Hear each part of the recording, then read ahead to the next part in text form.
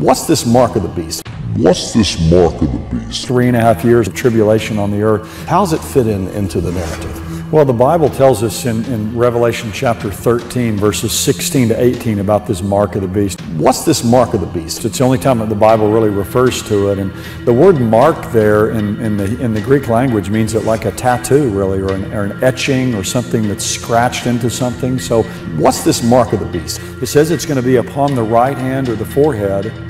And it says you can't buy or sell if you don't have the mark of the beast.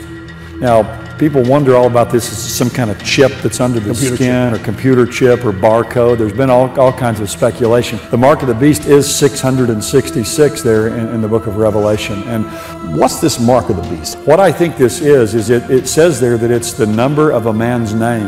Now, some have taken 666 to be one short of 777. In other words, God is perfection with seven, and this shows that this Antichrist who says he's God is actually 666. But I think it's actually going to be the numerical value of his name. In other words, you can, like in the, the Greek and Hebrew language, you can take the letters of the alphabet, they have numerical value. And so you can take a person's name and actually add that up and you come up with a number. So I think his number will, his name will actually equal 666. That's how he'll be identified. So when people take that mark on their right hand or forehead, they'll actually be taking his name upon them, which pictures the idea of ownership.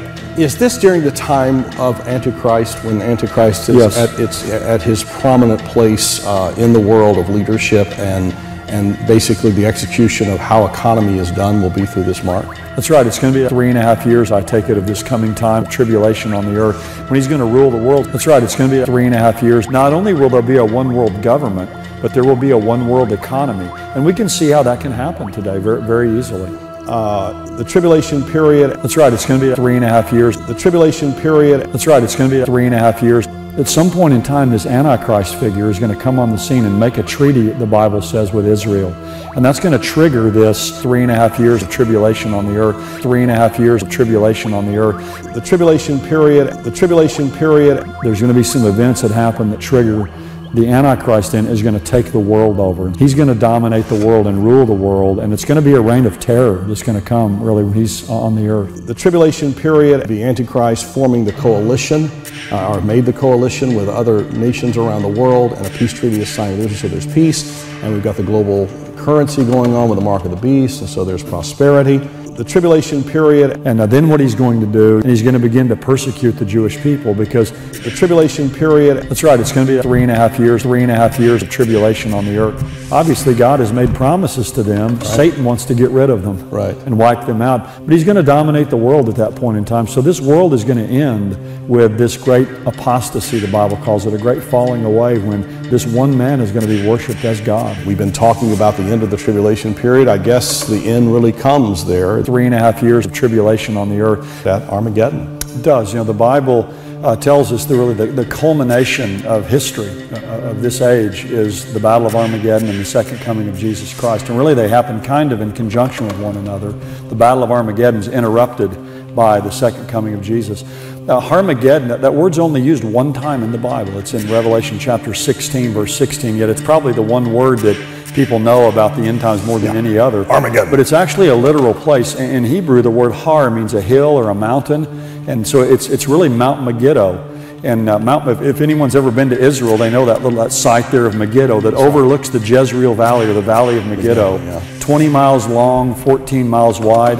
Napoleon called it uh, the world's most perfect battlefield. Interesting. And so the Bible tells us in the end times, right before the second coming of Christ, all the armies of the earth are going to be gathered there to the land of Israel. Now it's interesting, it never tells us why. They may be gathered there because things haven't been going that well. They're going to come to try to destroy the Antichrist. Uh, some believe it's there to try to once and for all wipe out the Jewish people. But what we do know is when the armies are gathered there to fight, that the Lord Jesus is going to return from heaven. He's going to interrupt uh, this battle of Armageddon. It's been called, you know, the mother of all wars. Yeah. But that's where world history is going to end. One of the things I think is fascinating is I studied world history as a, as a younger person. You end up, all you study is wars.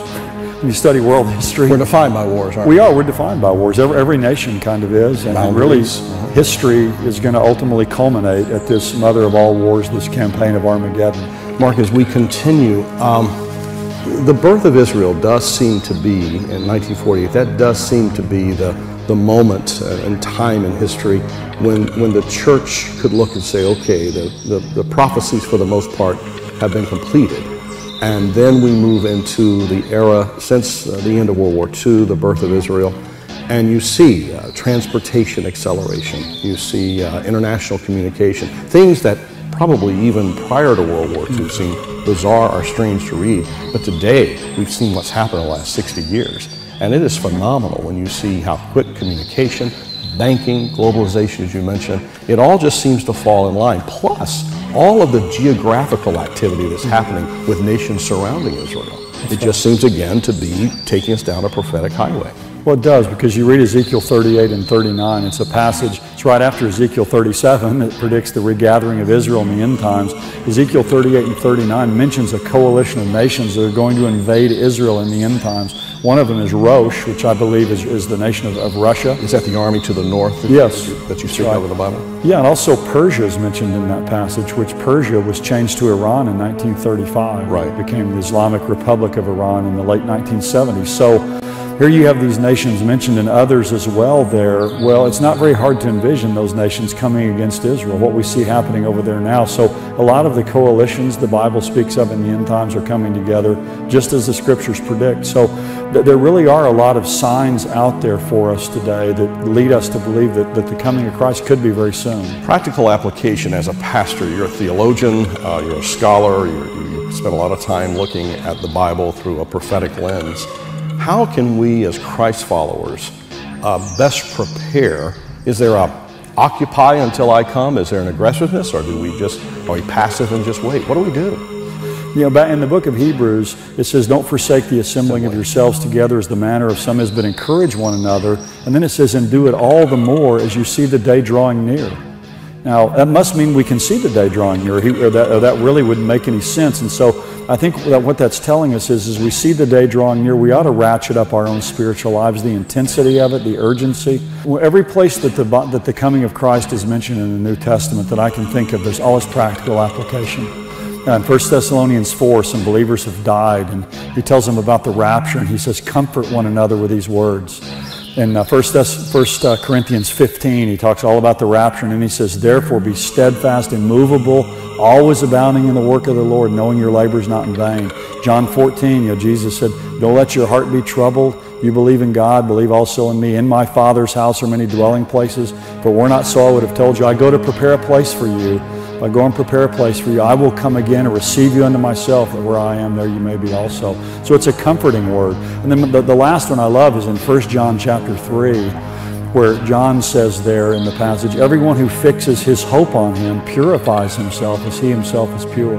So the, the coming of the Lord is a purifying hope.